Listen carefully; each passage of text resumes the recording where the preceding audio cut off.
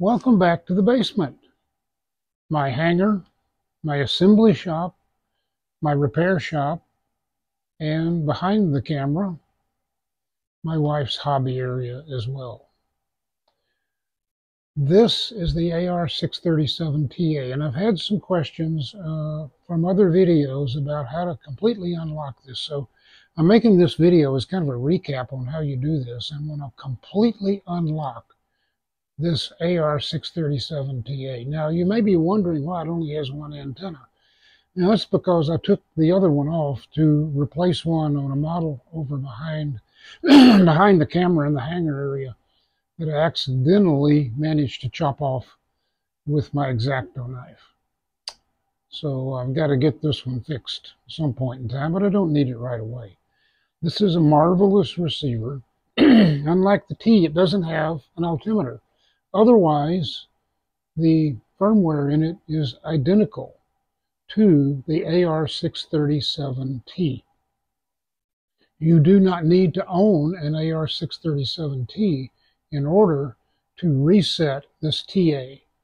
All you're going to do is write the AR637T firmware onto this receiver using this cable from Spektrum and a Windows PC and the Spektrum Programmer software.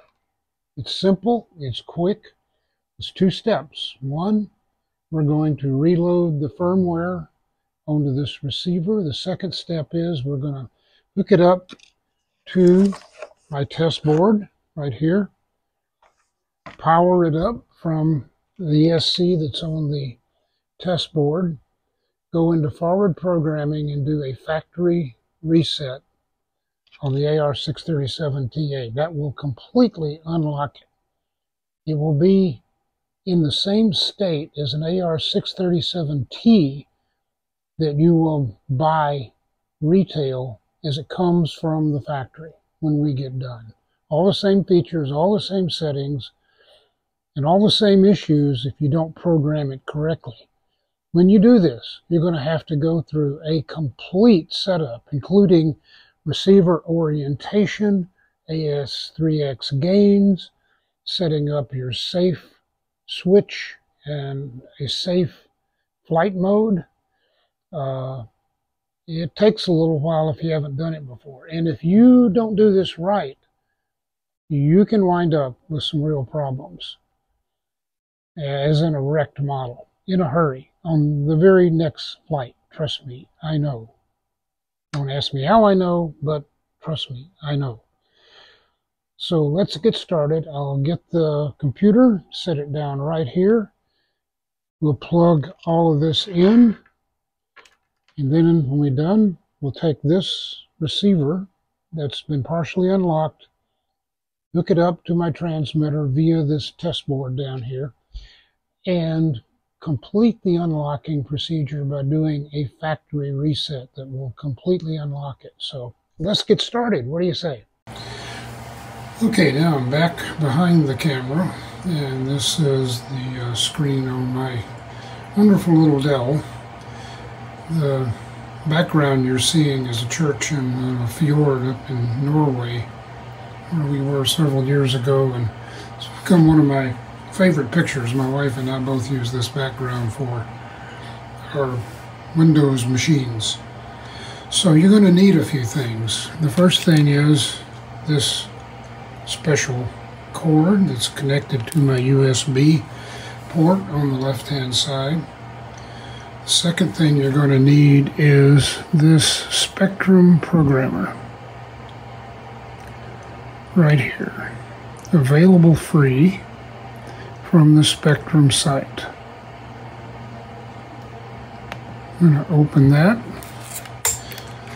and it's going to actually say Spektrum Programmer Beta up at the top, but it's been a beta forever.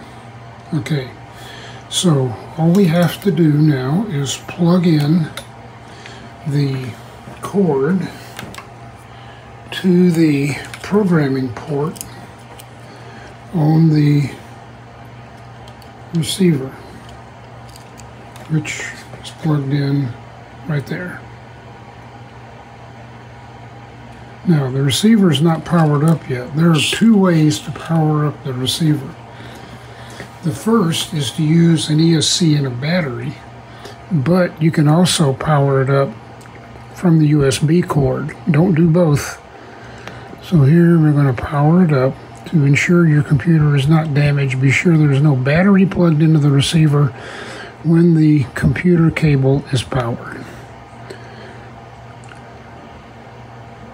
I'm going to use device settings.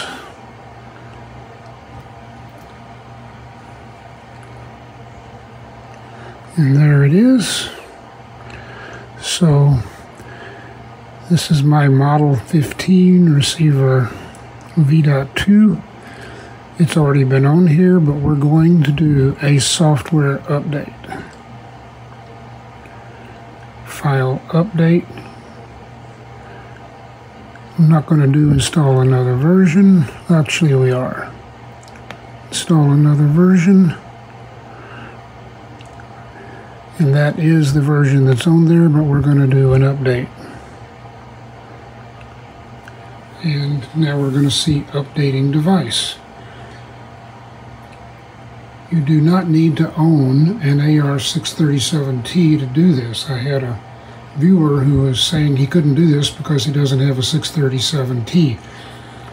What this does is it overwrites, here we go, it overwrites the firmware on the AR637TA. And the only difference between the TA and the T is an altimeter. The firmware is exactly the same. So, that took care of that. Now, to finish this, we're going to have to hook up this receiver to a transmitter and I'm going to do that on my test board. So give me a second here. We're done here. So we dismiss that. We've just overwritten the receiver. Uh, turn around, get it in the light. There it is. You notice it's missing an antenna. That's because I took an antenna off of this one and put it on a an AR637T I have that had an antenna that got damaged in the process of putting it in the model. I was playing around with my X-Acto knife and managed to cut the antenna in half instead of something else I was aiming at. Anyway, we'll unplug this receiver here and plug it into my test board and finish up unlocking it by doing a factory reset. Okay, the receiver sitting over there on the right side, flashing away. I plugged it in, touched the, the bind button down here to click that and get it into bind mode with the light flashing. I then selected, model select, the test bed. Now we're going to go down here and hopefully do a bind. Okay, there it is. Bind. Bind. dsmx 22 milliseconds And it has bound. No data. Telemetry. Bind complete. And we can see on the right that the receiver's light is now steady and we are ready to finish up the unlocking. So what we're going to do is go into forward programming and we can see we have gyro settings and other settings and we're going to go down here and do a factory reset. This will finish unlocking anything that is still locked in this TA. This is going to unlock it. Apply and complete.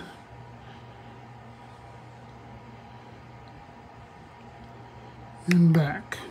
Now if we go to other settings, We've got, we can set up failsafe, initiate bind mode, if we want to rebind it. If I hit initiate bind mode and apply, over there, and yes, the receiver is rebooted.